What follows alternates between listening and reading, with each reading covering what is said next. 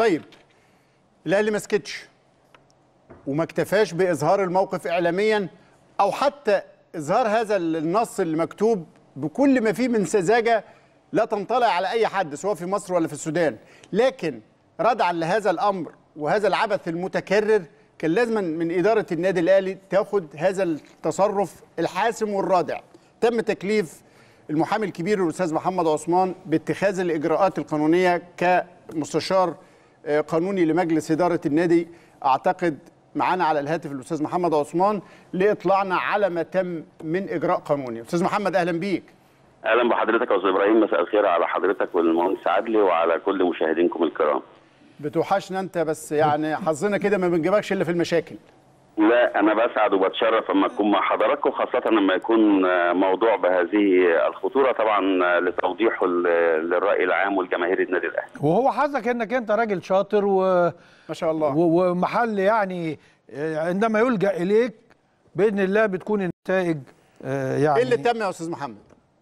في الحقيقة أنا كلفت آه، من قبل آه، مجلس إدارة النادي الأهلي اليوم بتقديم بلاغ آه، للجهات آه، الشرطيه المختصة متمثلة في الإدارة العامة لتكنولوجيا المعلومات بوزارة الداخلية آه، لتقديم بلاغ آه، يكشف عن هوية آه، بعض الأشخاص اللي بيديروا آه، صفحات. آه، هذه الصفحات آه، ارتكبت آه، جريمة بالأمس متمثلة في اصطناع وتزوير محادثة واتساب بين آه، الكابتن سيد عبد الحفيظ والكابتن حمادة صدقي مدرب نادي الهلال السابق. آه، هذه المحادثة المزورة أنا في تقديري بعتبرها أن هي جريمة خائبة. آه، مصطنع هذه آه، المحادثة آه، لم يكتفي بتزوير المحادثة والأخطر من هذا أن هو بدأ يحرض الجماهير على هذه الصفحة أن هي تصدر هذه آه، المحادثة الملفقة والمزورة لصفحات جمهور نادي الهلال. بالطبع آه، جمهور نادي الهلال السوداني جمهور على وعي كبير وبنثق في وعيه إن أي حد يقدر يكتشف إن آه، هذه المحادثة المزورة هي لعب صغار أو حيل صبيانية للإيقاع بين جمهور البلدين وزرع كراهية بين جمهور النادي الأهلي ونادي الهلال آه، السوداني. آه، من هنا كان آه، اتخاذ هذا الإجراء. هذا الإجراء إحنا اتخذناه للكشف عن هوية مرتكبي هذه الواقعة وتعقبهم والحقيقة إن الجهات المختصة آه، أخذت هذا البلاغ على محمل الجد وبالفعل بدأوا في تحريات لأن تقدمنا بهذا البلاغ آه، منذ ساعات. يا محمد بيه. آه، يعني هو مش يعني قد يكون الأمر أكبر آه من انه مجرد تصرف صبياني لأنه الحقيقة في الآخر لما أنت بتحرض بتقول ابعتوه للجماهير السودانية وتع... يعني آه حطوا على صفحات جماهير آه، الهلال. آه، جماهير الهلال. يبقى المقصود به إحداث توتر شديد جدا بين جماهير الهلال وجماهير الأهلي اللي هم في الآخر آه، آه، آه، يعني شعبين بيحبوا بعض جمهورين بيحبوا بعض. زراعة الفتنة دي ألا تذكرك بما حدث الموسم الماضي وبنفس الأسلوب وبنفس تزوير الأوراق وبنفس السعي آه، أنه تم مخاطبة وسائل الإعلام فضحت المتصل آه، إنه كان معد الم- مقدمي البرامج آه، آه، المنافسين. نعم. آه، و- وت- وأدى هذا الأمر إلى فعلا زرع نوع من الفتنة والتوتر ولو رجعنا ورا شوية برضو العبث الذي حدث بين جماهير مصر والجزائر. هذه تصرفات غير مسؤولة ومش عايزين ناخدها في حجم إن آه، ناس آه، بي- بيعبثوا على ال social media. آه، أتصور إن ممكن نكتشف أمور أبعد من هذا يعني.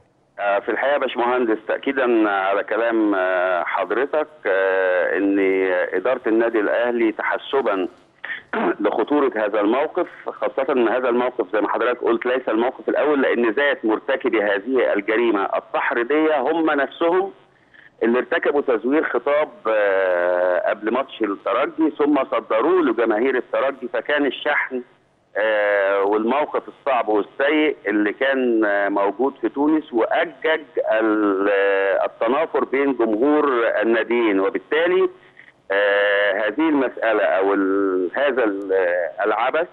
أنا بقول إن مرتكبي هذه الجريمة لا رياضيين ولا ليهم علاقة بالرياضة لأن هذا الأمر يتجاوز المنافسات الرياضية ليصل إلى مرحلة محاولة الإيقاع بين جمهور ناديين كبيرين في الوطن العربي وشعبين شقيقين زي الشعب المصري والشعب السوداني. وبالتالي اتخذنا لهذا الإجراء كإجراء احترازي ولتنبيه الأجهزة الأمنية إن هناك من يعبث بهذه العلاقة في هذا التوقيت لأن آه هذه الأساليب تزرع الحقد وتزرع الكراهية وتحض على أمور كثيرة آه نحن جميعا في غنى عنها في هذا الوقت.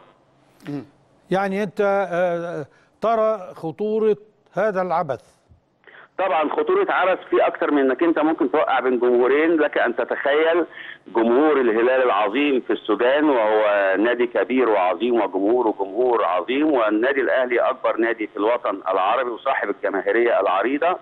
لك أن تتخيل آه، أن تصار فتنة بين آه، هذين الجمهورين. ده أمر خطير وخطير جدا. عشان كده إحنا اتخذنا إجراءات القانونية ونتوقع إن الأجهزة الأمنية إن شاء الله إن شاء الله. آه، طيب. خلال وقت قصير تصل لمرتكبي هذا العبث. وهذه الجريمة اللي أنا بعتبرها جريمة خائبة لأن حتى أسلوبهم في اصطناع هذا المحرر المزور آه، لا تنطلي على أحد وأي حد ممكن يشوفها كده يسخر منها ويضحك عليها. لكن تحسبا لأي شيء وكاجراء احترازي الكابتن الخطيب.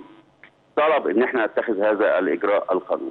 طيب توصيف هذا الفعل الإجرامي من الناحية القانونية آه، إيه وعقوبته إيه يا أستاذ محمد؟ آه، هي لها عدة تفاصيل يعني هي فيها آه، تحريق يعني هي فيها أمور تحض على تجدير الأمن والسلم العام و لأنها جريمة ما زالت مستمرة. إحنا ماتشنا آه. في في السودان هيبقى يوم 1 فبراير. أيوه. من هنا ل 1 فبراير. آه، هذه الأكذوبة أو آه، هذه الفعلة ال- الدنيئة الوضيعة تنتهي إلى ماذا؟ ممكن هي ارتكابها في حد ذاته هو جريمة وممكن يتولد عنها جرائم أخرى. نأمل آه، ألا نصل إلى هذه المرحلة. تمام. شكرا جزيلا يا أستاذ محمد. شكرا للاستاذ محمد عثمان المحامي بالنقد والمستشار القانوني لمجلس إدارة النادي.